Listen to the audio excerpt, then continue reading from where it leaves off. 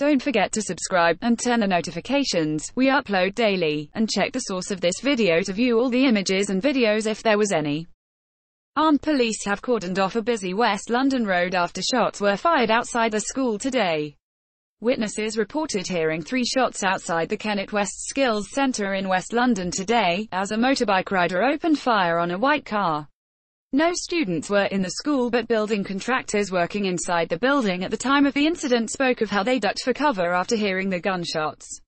A witness said someone involved in the crash, possibly the gunman, ran into the building after the white Volvo crashed into the tree near the school. An armed police officer is seen crouching outside the school after there were reports of gunshots earlier today. A cordon of around 50 metres has been put in place around the school in West London today. The driver's side window has been shattered during the incident. An empty shell casing is pictured beside the A at the scene. Another scooter was also said to be driving with a bike involved in the shooting but sped off from the scene. Pictures from the scene show the driver's seat of the white Volvo shattered and empty shell cases on the floor next to the vehicle. Sources told Mail Online the white Volvo was a rental vehicle and the incident is believed to be gang or drug-related. Nick Purnell, who was working inside the building at the time of the shooting, said he was forced to hide in a cupboard after hearing gunshots at around 4 p.m. The 42-year-old told Mail Online, it was a heart-pumping moment. My first reaction was to duck, but then I realized there was glass in front of us so I had to run. There were three of us working in one of the classrooms at the time and we all just ran out.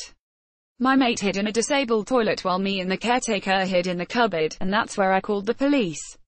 A motorbike is left turned on its side near the scene of the incident in West London today. The white car which crashed into the tree is inside the police cordon.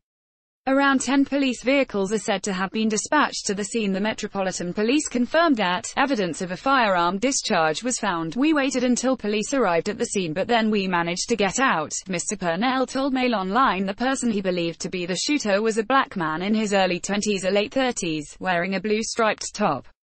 He said that he entered the main entrance of the school and turned left down a corridor. I didn't hear any shouting after the shooting but people in the houses above were banging on the windows. It all happened so quickly, Mr. Purnell added. Oliver Holder, 35, arrived at the scene shortly after hearing reports of the shooting. Mr. Holder, who works as a photographer, said police had put a large cordon of around 50 meters around the school and that around 10 police vehicles, unmarked cars and a helicopter were dispatched to the scene. He said, I was driving home and that is when I found out about the shooting. I live not far away from the area and it's not the first time this has happened. Last year a girl died after being shot on Malvern Road. Another person was shot on my road. This kind of stuff happens quite a lot now. This keeps happening but because we come under the Borough of Westminster, we don't get the proper resources to deal with the problem. Police helicopters are said to be circling the Kennet West Skills Centre. The Metropolitan Police told Mail Online, evidence of firearm discharge was found at the scene.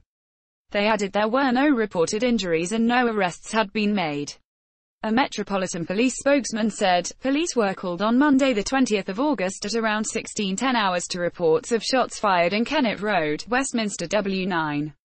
Officers and armed officers attended. No reported injuries. Evidence of a firearm discharge was found. Officers with the support of the National Police Air Service are searching the area. No arrests. Enquiries continue.